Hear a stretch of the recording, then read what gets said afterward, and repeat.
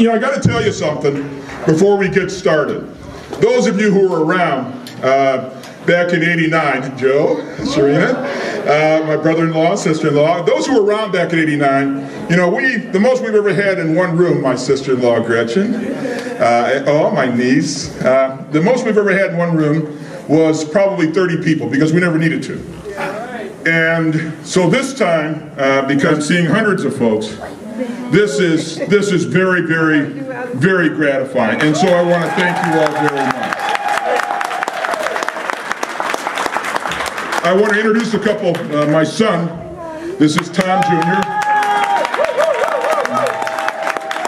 Those will remember TJ when he uh, introduced me back in 2009. And I see Brian out there and Steve and all my St. Clair family. You know what I like about this uh, as I look around the room?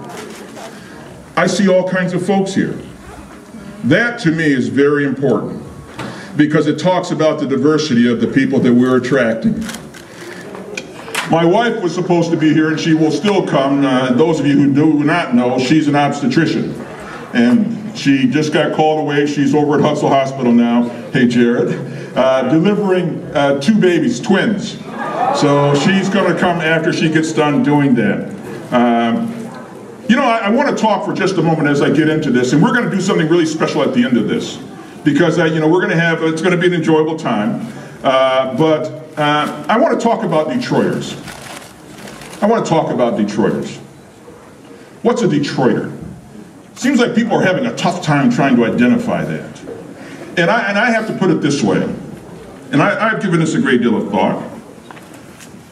Detroiters are folks from everywhere people who lived here at some time, people who have a tie and affinity to this city, who care about what happens to this city, who have a deep, abiding love uh, for this city.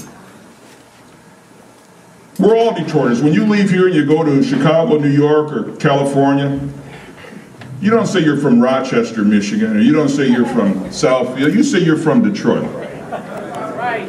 You're a Detroiter. But then there's a special class of Detroiters.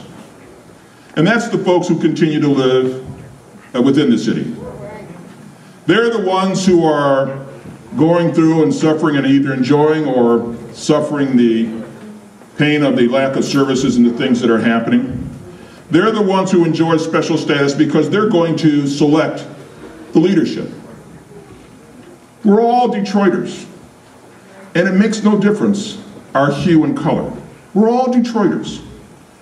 And that's the kind of leadership we have to make sure that we have. Somebody who's not afraid to go out amongst Detroiters, amongst people,